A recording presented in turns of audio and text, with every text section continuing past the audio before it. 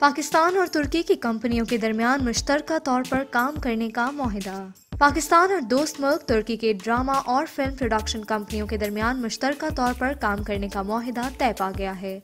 अदाकार अदनान सदीकी ने प्रोड्यूसर काशिफ अंसारी की एक वीडियो इंस्टाग्राम पर शेयर की जिसमें वो तुर्की के शहर इस्तांबुल में वहाँ की प्रोडक्शन कंपनी तकदन फिल्म्स के chief executive officer CEO Kemal Takdan के साथ मीडिया से बात करते दिखाई दिए वीडियो में काशिफ अंसारी इस्तांबुल में तुर्क ड्रामा और film production company Takdan films के सीईओ कमाल के हमरा एक मीडिया नुमाइंदे से बात कर रहे थे Uh, video, Video. photo.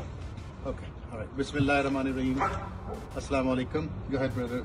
Mr. Kamal Takdin, who is the CEO of Takdin Films here in Istanbul, is here with me, uh, and we had a wonderful meeting, and he has to say something. Please go ahead.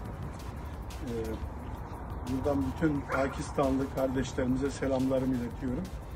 Biz e, Diriliş Ertuğrul ve Yunus Emre yapımcısı Tekten Film olarak inşallah Pakistan'la ortak bir proje gerçekleştirmek istiyoruz.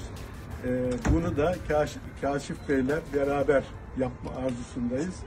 Ee, kendisi bizim yakın dostumuzdur. Gerçekten e, her konuda e, kendisine güveniyoruz. Bizi e, Pakistan'da temsil edebileceğimizi edece- edebileceğini düşünüyoruz. E, buradan tekrar Pakistanlı kardeşlerime selam ve hürmetlerimi sunuyorum.